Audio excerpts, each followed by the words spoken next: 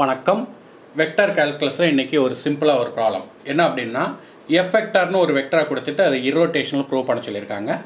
அப்படி ப்ரூவ் பண்ணிட்டு அதிலிருந்து அதனுடைய ஸ்கேலார் பொட்டென்ஷியல் கண்டுபிடிக்க சொல்லியிருக்காங்க. இரோட்டேஷனில் ப்ரூவ் பண்ணுறதுக்கு curl F del cross F வந்து ஜீரோ வெக்டர்னு ப்ரூவ் பண்ணணும். கிராஸ் ப்ராடக்ட் போடணுன்னா ஒரு த்ரீ பை த்ரீ டிட்டர்மினன்ட் போட்டு ஃபர்ஸ்ட் ரோவில் ஐஜேகே எழுதுங்க. செகண்ட் ரோவில் இந்த டெல்லோட காம்பனண்ட் எழுதுங்க. Doe by doe x doe by doe y doe by doe z third ரோவில் அந்த எஃபெக்டரோட காம்பனண்ட் எழுதுங்க. I component y z square j component x z square minus one k component two x y z minus two அதை எழுதுங்க. இப்போ இந்த determinant உங்களுக்கு evaluate பண்ண தெரியும். ஐ வெக்டார் வேணும்னா இந்த ரோவையும் இந்த ரோவையும் இந்த காலத்தையும் விட்டுட்டு இந்த டூ பை டூ டிட்டர்மினன்ட் அப்போ doe by doe y of இந்த element minus doe by doe z of இந்த காம்பனண்ட் போடணும்.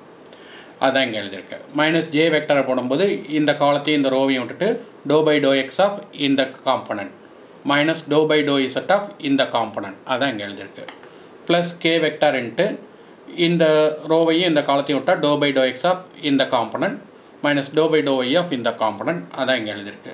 ஸோ அந்தந்த காம்பனண்ட்டை டிஃப்ரென்ஷியேட் பண்ணி காட்டுனீங்கன்னா ஃபைனலாக அந்தந்த காம்பனண்ட்லேயே கேன்சல் ஆயிரும். ஜீரோ வெக்டர்னு கிடைக்கும். ஸோ எஃப் வெக்டர் வந்து டெல் கிராஸ் எஃப் ஜீரோ வெக்டராக இருந்தால் எஃப் வெக்டர் இரோட்டேஷனல் இப்போ இதோடைய ஸ்கேலார் பொட்டன்ஷியல் கண்டுபிடிக்கிறதுக்கு இந்த எஃப் வெக்டரை டெல் ஃபைன்னு எடுத்துடுங்க டெல் ஃபையோட டெஃபினேஷன் என்ன இருக்கும்? I doe phi doe by doe phi by doe x plus j doe phi by doe y plus k doe phi by doe z இப்போ எஃப் வெக்டர் நமக்கு இது தெரியும்? அதில் மூணு காம்பனண்ட் இருக்கும் i component j component k component அதை எடுத்து எழுதுங்க. எடுத்து எழுதி ரைட் சைடில் இதை எடுத்து எழுதுங்க.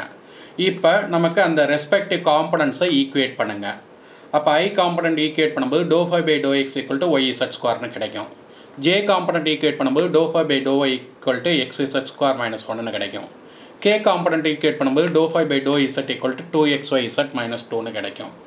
இப்போ அந்தந்த டேர்மை இன்டகிரேட் பண்ணணும். இப்போ இது இங்கே எக்ஸை பொறுத்து இன்டகிரேட் பண்ணணும். எக்ஸை பொறுத்து இன்டகிரேட் பண்ணும்போது ஒய் இசட் ஸ்கொயர் கான்ஸ்டன்ட் ஒரு எக்ஸ் மட்டும் எக்ஸ்ட்ரா வரும். ப்ளஸ் ஒரு இன்டகிரேஷன் கான்ஸ்டன்ட் வரும். நமக்கு இங்கே பார்ஷியல் டிஃப்ரென்சியேஷன் வித் ரெஸ்பெக்ட் எக்ஸுங்கனால வர்ற கான்ஸ்டன்ட் ஒய் இசட்டில் இருக்கும். அதே மாதிரி டோ ஃபைவ் பை டோ ஒய்னா ஒய்யை பொறுத்து இன்டகிரேட் பண்ணோம். எக்ஸும் இசட் ஸ்கொயரும் கான்ஸ்டன்ட் ஒய்யை பொறுத்து இன்டகிரேட் பண்ணும்போது எக்ஸ் இசட் ஸ்கொயர் இன்ட்டு ஒய்ன்னு கிடைக்கும். மைனஸ் ஒய்ன்னு வரும். இந்த ஒன்னை இன்டகிரேட் பண்ணால் மைனஸ் ஒய் ப்ளஸ் ஒரு இன்டகிரேட்டிங் கான்ஸ்டன்ட் இங்கே ஒய்யை பொறுத்து இன்டகிரேட் பண்ணனால எக்ஸும் இசட்டும் கான்ஸ்டண்ட்டாக இருக்கும். அடுத்தது தேர்ட் ஒன் இதை வந்து இசட்டை பொறுத்து இன்டகிரேட் பண்ணோம். இங்கே டூ எக்ஸ் ஒய் கான்ஸ்டன்ட் இசட்டை இன்டகிரேட் பண்ணால் இசட் ஸ்கொயர் பை டூ வரும். அந்த டூவும் இந்த டூவும் கேன்சல் ஆகி எக்ஸ் ஒய் இசட் ஸ்கொயர் வரும்.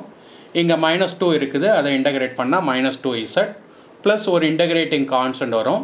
இசட்டை பொறுத்து இன்டகிரேட் பண்ணுறதுனால அது அந்த கான்ஸ்டன்ட் எக்ஸ் ஒயில் வரும். இப்போ இந்த மூணுலேருந்து இதெல்லாம் எலிமினேட் பண்ணிவிட்டு இதை மட்டும் எடுத்து எழுதணும். எப்படி எழுதுறதுன்னா ரிப்பீட் ஆகிற டம்மு விட்டுட்டு ரிப்பீட் ஆகிற டம்மு ஒரே ஒரு தடவை கன்சிடர் பண்ணால் போதும். எக்ஸ் இசட் ஸ்கொயர் மூணு தடவை ரிப்பீட் ஆகிருக்குது ஒரு தடவை கண்டி எழுதிக்கிட்டால் போதும். டூ இசட் ஒரே ஒரு தடவை தான் இருக்குது. ஒரு தடவை எழுதுங்க. ஒய் மைனஸ் ஒய் ஒரு தடவை தான் இருக்குது. அப்போ அதை ஒரு தடவை எழுதுங்க. ப்ளஸ் ஒரு இன்டகிரேட்டிங் கான்ஸ்டன்ட் சீனு வரும். ஸோ இதுதான். ஸோ எத்தனை தடவை அப்பியர் ஆனாலும் சரி ஒரு தடவை அப்பியர் ஆனாலும் ஒரு தடவை தான். ரெண்டு தடவை அப்பியர் ஆனாலும் ரெண்டு தடவை ஒரு தடவை தான். மூணு தடவை அப்பியர் ஆனாலும் ஒரு தடவை தான் அந்த கா அந்த காம்பனண்ட்டை எழுதணும் அந்த ஃபங்க்ஷனை ஸோ அப்படி எழுதுனோம்னா ஆட்டோமேட்டிக்காக இந்த மூணு கான்ஸ்டண்ட்டும் எலிமினேட் ஆயிரும்.